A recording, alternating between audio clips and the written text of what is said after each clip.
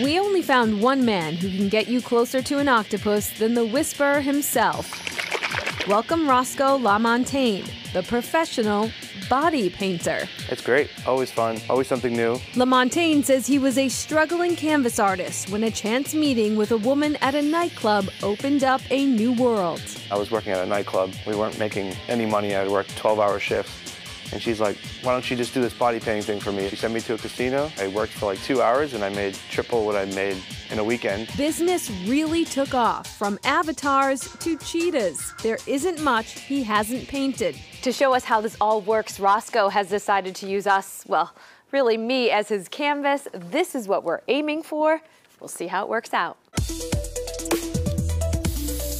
LaMontagne says transitioning from a flat surface to one with curves was challenging. The body's really tough because the angles always change. So like if you put a stencil on the body, since the body's like elastic, you can never get it in the same spot. Ready? Right. All LaMontagne's paints are FDA approved and smell a bit like Fruity Pebbles. The cool thing is that it's waterproof. It can last for a whole day. You can dance, it doesn't fade. From head to toe, it can take up to four hours to complete a body painting, and it will cost you about 400 bucks. But you are paying for original work with a lot of history. It's actually the original form of art. The first form of art was body art. Luckily, the tools have advanced. So when you blow through a bone, you're making an airbrush. Despite LaMontagne's obvious abilities, it is hard not to be a skeptic.